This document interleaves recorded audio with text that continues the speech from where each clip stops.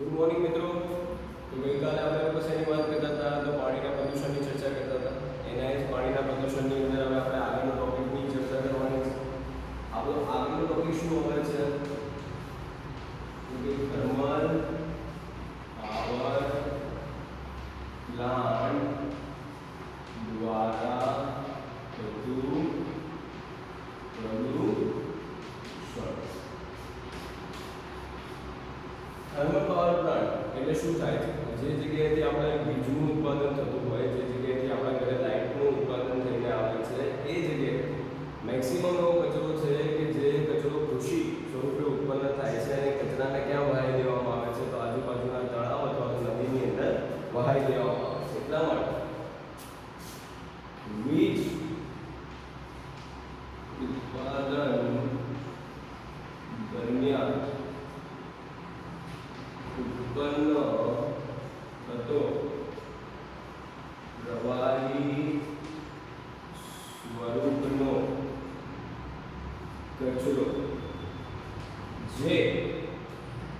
તેની આસપાસ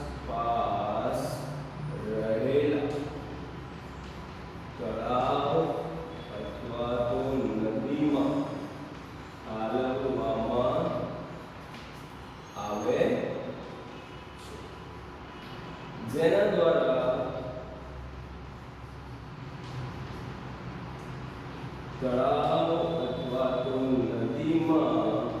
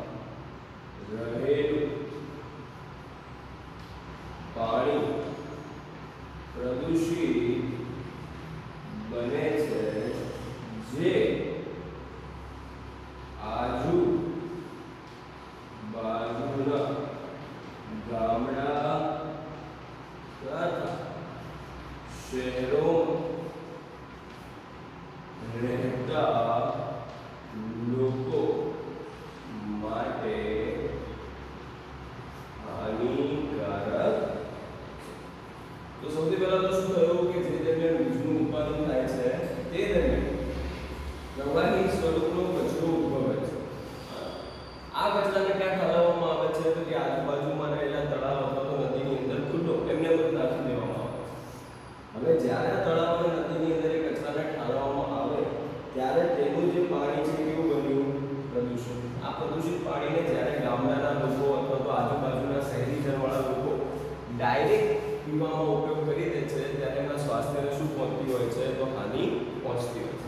એવી જ રીતે, આ સૌથી પહેલો મુદ્દો હતો કે જેની અંદર જો ડાયરેક્ટ રીતે પાણી પીવામાં આવે છે, તો આપણને હાનિકારક સાબિત થઈ શકે છે. બીજા મુદ્દામાં શું છે? આ પાણી જે જમીન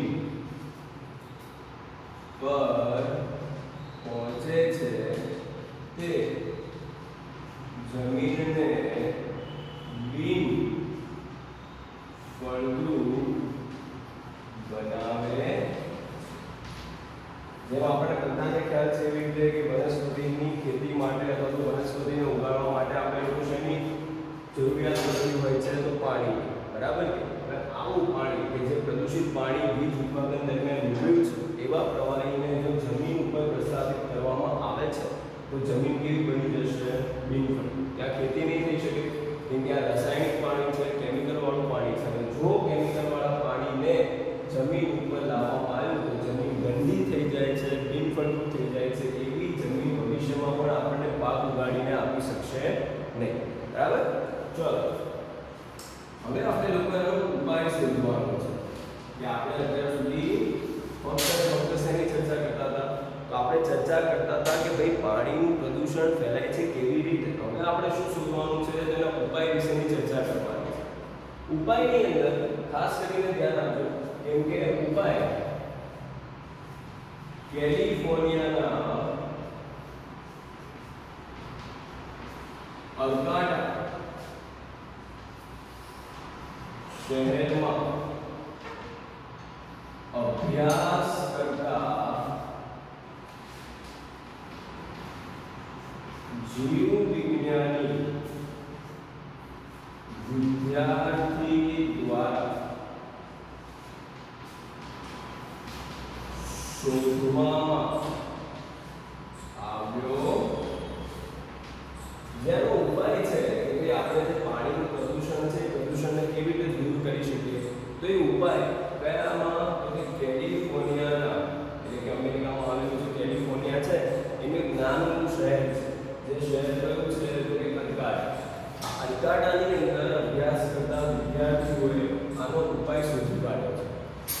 ગંદા પાણીને ચોખ્ખું કેવી રીતે બનાવીશું બરાબર તો ચલો આ ઉપાય વિશેની આપણે ચર્ચા કરીશું શરૂઆત કરીએ હમ્બોલ્ટ યુનિવર્સિટીના વિદ્યાર્થી છે જેમણે કુદરતી અને કૃત્રિમ પદ્ધતિનો ઉપયોગ કર્યો. હવે આ પદ્ધતિને સમજવા માટે આપણે જૂની એક વસ્તુને યાદ કરવી પડશે અને વસ્તુ શું હતી? તો કે જે દરમિયાન પાણીમાં પ્રદૂષણ ફેલાય તે દરમિયાન તેમાં ઘન કચરો પણ છે અને સાથે સાથે પ્રવાહી કચરો પણ છે. બરાબર? સૌથી પહેલાં આપણે ઘન કચરાની ચર્ચા કરીએ. ઘન કચરો. તો તેની માટે શું કરવામાં આવ્યું છે તો કે વિદ્યાર્થીઓ દ્વારા 60 હેક્ટર્સની જમીનનો ઉપયોગ કરાયો છે જે જમીનને 6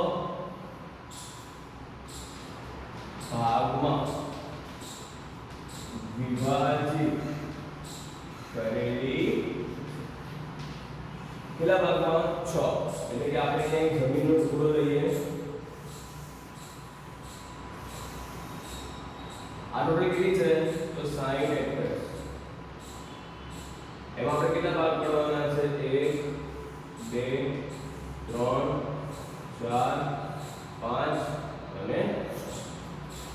છ ભાગનો ઉપયોગ એમણે કર્યો કેવી રીતે તો કે સૌથી પહેલો જે ભાગ છે એ ભાગની અંદર રેતીના કણો એવી રીતે મૂકેલા છે કે જે રેતીના કણો એકબીજાથી છૂટા છે મતલબ કે અહીંયા રેતીના કણો એકદમ છૂટા છૂટા ગોઠવાયેલા છે બરાબર એવી રીતે જેમ જેમ આપણે લોકો પહેલાથી છઠ્ઠા ભાગ સુધી પહોંચીશું એમ એમ રેતીના કણો કેવા થતા જશે તો ભેગા થતા જશે જે ભાઈ અહીંયા છૂટા હતા અહીંયા એનાથી ભેગા થયા અહીંયા એનાથી ભેગા થયા અહીંયા એનાથી ભેગા અને છઠ્ઠા ભાગમાં કેવા છે તો કે સૌથી ભેગા બરાબર કે એટલે કે એને આપણે સાદી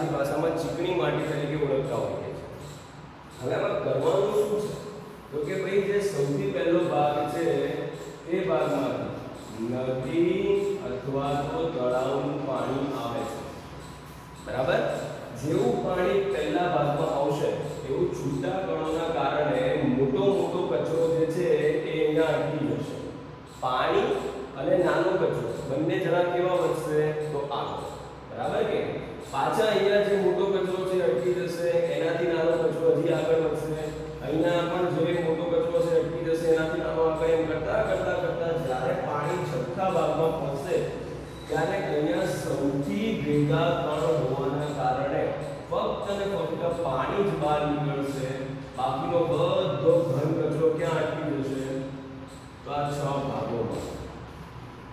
ક્યાં અટકી જશે તો આ છ ભાગ એટલે સૌથી પહેલા આપણે કયો કચરો દૂર કર્યો? ઘર કે જેના માટે 60 હેક્ટરની જમીન લેવામાં આવી એ જમીનના છ ભાગ પાડવામાં આવ્યા અને દરેક ભાગની અંદર રેતી એવી રીતે ગોઠવવામાં આવી કે સૌથી પહેલા ભાગમાં છૂટી અહીંયા એનાથી ભેગી અહીંયા એનાથી ભેગી અહીંયા એનાથી ભેગી અને સૌથી છેલ્લે એકદમ ભેગી. કે જેથી કરીને પાણીનું શું થયું? તો શુદ્ધિકરણ થવાની શરૂઆત. થઈ બધો ઘન કચરો વચ્ચે અટકી ગયો. બાકી ખાલી ફક્ત ને ફક્ત બહાર શું આવ્યું તો પાણી. બીજી વસ્તુ. ઓગળેલો કચરો. હવે આપણને એવું થાય કે ભાઈ સર, અહીંયા નદી અને તળાવની અંદર ઘન કચરો તો દૂર કરી દીધો. પણ આના આ જ નદી અને તળાવની અંદર ઓગળેલો કચરો પણ છે કે જે આની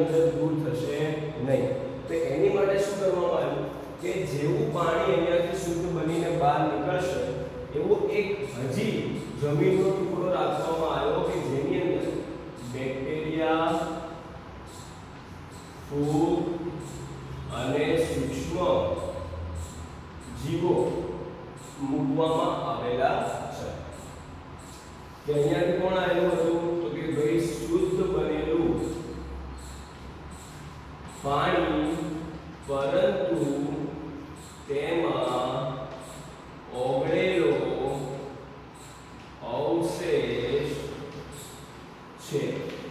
કેવું પાણી આવેલું હતું? કે શુદ્ધ હતું. પરંતુ તેમાં ઓગળેલો અવશેષ હજી જોવા મળે છે. બરાબર કે? આવા પાણીને જે વખતે બેક્ટેરિયા, ફૂગ અને સૂક્ષ્મ જીવો વચ્ચેથી પસાર કરવામાં આવ્યું, તે વખતેનો જેટલો પણ ઓગળેલો અવશેષ હતો, એ બધે બધું ઓગળેલો અવશેષ કોણ થઈ ગયું? તો બેક્ટેરિયા, ફૂગ અને સૂક્ષ્મ જીવો થઈ ગયા. અને જેથી કરીને જ્યારે અહીંયાથી પાણી બહાર આવ્યું ત્યારે કેવું આવ્યું એકદમ શુદ્ધ પાણી બહાર નીકળે. ઘન કચરો પણ દૂર થઈ ગયો.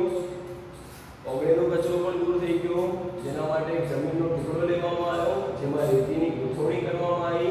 ઘન કચરો અહીંયા જ ગયો.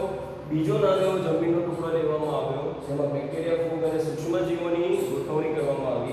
જેમણે ઓગળેલા કચરાને દૂર કરી દીધો અને જેથી કરીને આપણને શું મળી ગયું? શુદ્ધ પાણી. બરાબર?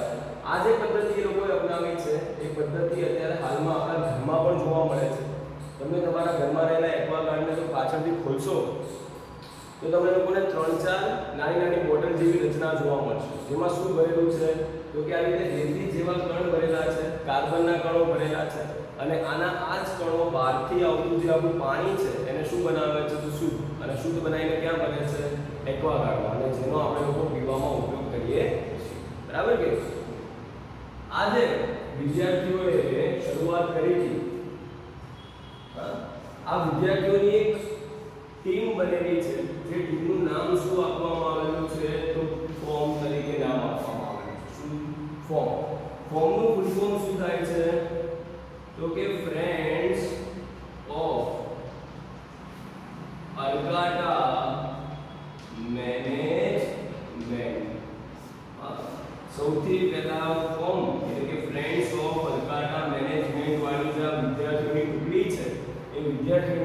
આપણને પાણીના શુદ્ધિકરણની માહિતી આપી હતી. બરાબર કે?